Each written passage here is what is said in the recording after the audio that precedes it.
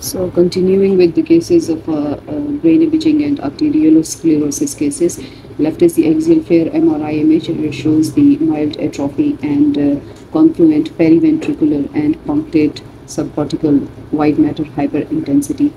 which is typical for arteriosclerosis, uh, that is chronic small vessel disease in this elderly patient with mild cognitive impairment. Right is the axial DTI trace image and uh, it shows no areas of diffusion restriction uh, to suggest the acute ischemia in this elderly patient. Arteriosclerosis uh, may mask an acute ischemic event, so DWI or DTI sequences are helpful to exclude the acute ischemia in this patient population. So left is uh, again axial T2 weighted MRI sequence in a patient with chronic hypertension and it shows confluent regions of periventricular hyperintensity related to arteriolosclerosis. There are chronic lacunar infarcts visible and a chronic hypertensive uh, basal ganglia hemorrhage. Right is the axial GRE MR sequence and it shows uh, hyperintensity related to the hemosiderin along the chronic hypertensive hemorrhage uh, multiple foci of susceptibility artifact or blooming are seen in the deep gray nuclei and white matter, uh, which are related to microhemorrhages uh, from chronic hypertension. So the left image is the axial non-contrast CT scan and it shows diffuse atrophy and extensive confluent periventricular and subcortical hyperdensities uh, which are typical for severe arteriolosclerosis in this elderly patient with dementia. Right is the axial CT scan at the level of the corona radiata and it shows extensive involvement of the white matter by arteriolosclerosis there is chronic small vessel ischemia in this patient with the long-standing hypertension and a clinical diagnosis of vascular dementia, uh, that is Binswanger type, Binswanger type vascular dementia. Left is axial FLAIR MRI sequence showing a mild periventricular and uh, subcortical white matter hyperintensity related to the arteriolosclerosis in a 51-year-old woman uh, with cerebral amyloid angiopathy. Right is the axial GRE sequence showing the typical peripheral distribution of hyperintensity or blooming related to the susceptibility artifact from blood products in the cortex and uh, subcortical white matter uh, of this patient with amyloid angiopathy also noted is that the deep gray nuclei are relatively spared.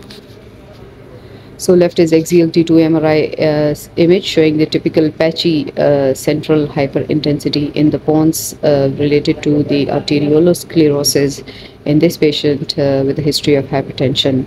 Right is the axial MRI sequence in a 65-year-old a normotensive man and it shows a few punctate foci of hyperintensity in the subcortical white matter. Note the mild diffuse uh, volume loss and a typical, uh, which is a typical finding in a normal aging brain. Left is the graphic image, axial graphic image of the left temporal bone, uh, which is showing a classic uh, picture of aberrant internal carotid artery, which is uh, rising along the posterior cochlear uh, promontory and crossing along the medial middle ear wall to rejoin the horizontal uh, petrous uh, uh, ICA, that is internal carotid artery. At the point of uh, reconnection to the horizontal petrous ICA, stenosis is often present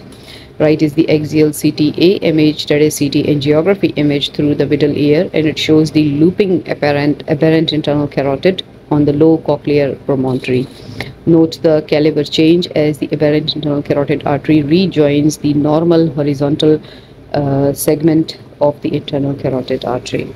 So these are graphic images. Uh, the left one is the lateral graphic of a normal adult cervical and petrous uh, ICA uh, which is uh, showing the inferior, which reveals that the inferior tympanic artery is branching off the ascending pharyngeal artery. Uh, it's passing into the temporal bone to anastomose with the very small uh, tympanic artery on the cochlear promontory. Right is again uh, the graphic image, a lateral uh, image which is showing the failure of the cervical ICA to develop uh, with the dotted lines that is shown with the dotted lines with the ascending pharyngeal, inferior tympanic and carotico tympanic arteries providing an alternative collateral arterial channel uh, resulting in an aberrant internal carotid artery. So the left image is the coronal uh, left temporal bone CT scan at the level of the oval window and it shows the aberrant internal carotid artery as a mass